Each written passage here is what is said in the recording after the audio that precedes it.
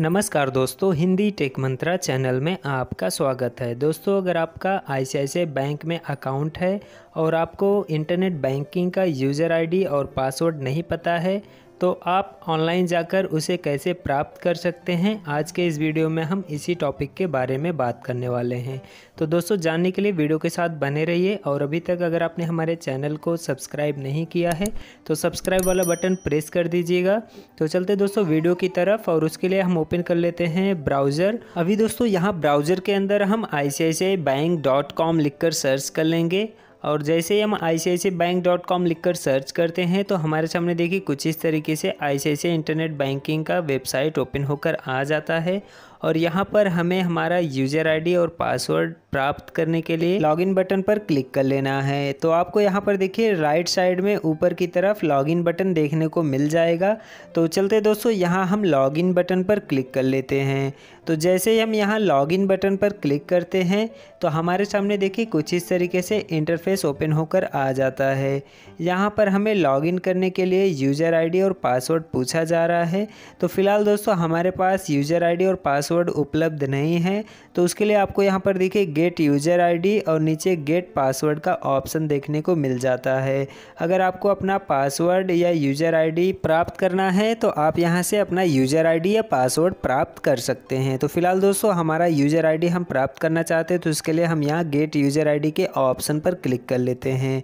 तो जैसे ही हम यहाँ गेट यूज़र आईडी के ऑप्शन पर क्लिक करते हैं तो हमारे सामने कुछ इस तरीके से इंटरफेस ओपन होता है और यहाँ पर हमें यूज़र आईडी प्राप्त करने के लिए कुछ इन्फॉर्मेशन देनी होती है, जैसा कि bank account debit card credit card और ट्रैवल कार्ड और लास्ट में है पे लेटर इनमें से कोई एक भी डिटेल आपके पास उपलब्ध रहेगी तो आप यहाँ से अपना यूज़र आईडी और पासवर्ड जनरेट कर सकते हैं। तो हम यहाँ पर फ़िलहाल बैंक अकाउंट सेलेक्ट कर लेते हैं और उसके बाद यहाँ पर हमारा बैंक अकाउंट नंबर फिल कर लेते हैं। तो बैंक अकाउंट यहाँ पर सेलेक्ट करने के बाद जैसे हम यहाँ पर बैंक अकाउंट नंबर फिल करते हैं तो हमारा अकाउंट वेरीफाई हो जाता है ऑटोमेटिकली और फिर नीचे हमें मोबाइल नंबर फिल करने का ऑप्शन ओपन होकर आ जाता है। तो यहाँ पर हमें हमारा बैंक से रजिस्टर्ड मोबाइल नंबर भी फिल कर लेना है और फिर गो बटन पर क्लिक कर लेना है। तो जैसे ही दोस्तों यहाँ पर हम गो बटन पर क्लिक करते हैं तो कुछ इस तरीके से इंटरफेस ओपन होता है। अभी यहाँ पर हमारे डेबिट कार्ड को वेरीफाई करने के लिए हमें डेबिट कार्ड के कुछ डिटेल्स इंटर करने होते हैं। जैसा कि आपको आपके डेबिट कार्ड के पीछे कुछ इस तरीके से बॉक्स टाइप देखने को मिल जाएगा। अभी यहाँ पर बॉक्स के अंदर जो नंबर्स दिए गए हैं अल्फ़ाबेट के हिसाब से, उसी के अकॉर्डिंग आपको यहाँ पर नंबर्स प्रॉपर तरीके से फिल कर लेने हैं और फिर गो बटन पर क्लिक कर लेने हैं।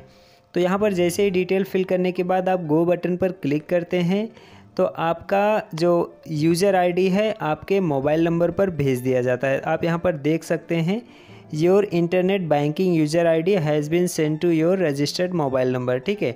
तो देखिए, कुछ इस तरीके से हमें भी हमारे मोबाइल पर एसएमएस द्वारा हमारा यूज़र आईडी रिसीव हो चुका है। जैसा कि दोस्तों, हमें हमारा इंटरनेट बैंकिंग का यूज़र आईडी प्राप्त हो चुका है।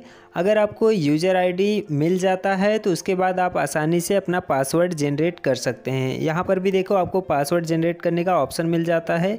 नीड लॉगिन पासवर्ड, उसके बाद यहाँ जनरेट नाउ के बटन पर क्लिक करेंगे तो हमें कुछ इस तरीके से इंटरफेस देखने को मिल जाएगा। यहाँ पर थ्री स्टेप बताए गए हैं।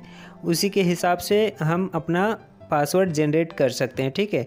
तो उसके बाद चलते अभी हम यहाँ click here to proceed button पर क्लिक कर लेते हैं।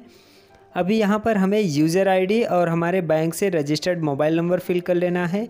यूज़र आईडी और बैंक से रजिस्टर्ड मोबाइल नंबर फिल करने के बाद नीचे हमें गो बटन पर क्लिक कर लेना है। तो चलते दोस्तों, यहाँ पर हमारे मोबाइल पर जो भी यूज़र आईडी रिसीव हुआ है, उसे हम यहाँ पर फिल कर लेंगे।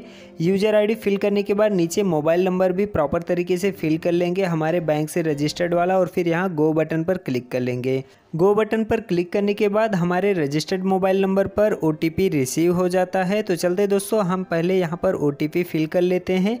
ओटीपी फिल करने के बाद नीचे हमें कार्ड का वेरिफिकेशन जो डिटेल है, उसे भी प्रॉपर तरीके से फिल कर लेना है। जैसा कि हमने यूज़र आईडी जनरेट करते टाइम किया था। जैसे यहाँ पर कार्ड डिटेल फिल कर लेंगे, उसके बाद गो बटन पर क्लिक करेंगे, उसके बाद नेक्स्ट पेज ओपन होगा।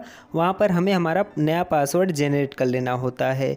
तो एक बार दोस्तों, जैसे हम हमारा नया पासवर्ड जनरेट कर लेते हैं, उसके बाद हम आसानी से हमारा इंटरनेट बैंकिंग लॉगिन कर सकते हैं।